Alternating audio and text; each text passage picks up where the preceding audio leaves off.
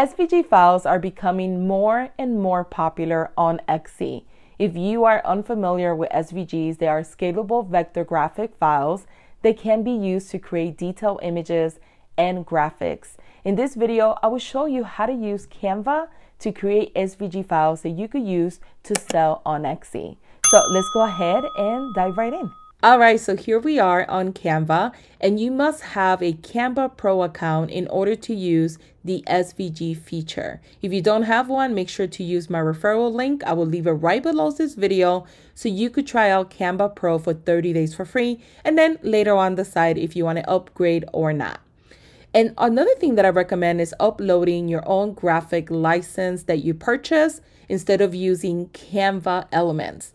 Um, as you probably know, Canva's licensing terms are a little bit confusing. So if you do end up using their elements, make sure that you get some clarification directly from them if you have any additional questions.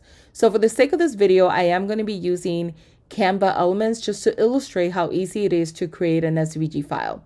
So the first thing I'm going to do is click, um, click here, create a design. And I'm just going to do a standard post 2000 by 2000 pixels. And I'm going to go under elements and I'm going to type in woman and try to find an element here that I like. So let's say that I want to go ahead and let me just do graphics that way no videos show up. So let me say I want to do this one here, right? And go ahead and size it to your post. And let's go ahead and add some text as well. So I'm just going to type in strong woman. Now, once you have created your design and you're happy with it, you like how it looks, you added all the colors that you wanted. Um, it's so simple after this. So I'm just to do the, my final touches here. So let's say that this is what I want my SVG to look like. I'm happy with how it looks and that's all I'm to do with it, right?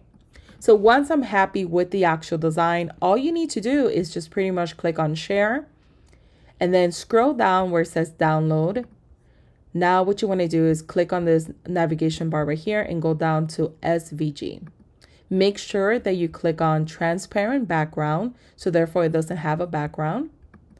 And once you're happy with the design and you do this step, go ahead and download the design. It will take a few seconds to download. Always check your design just to make sure that it looks clear. This one actually looks really, really great as you can see. And this is how simple it is to create SVG files. Keep in mind that when you're uploading your own graphics, all you're to do is click here where it says upload to create your own. Let me know if you plan to use it and I will see you in the following video.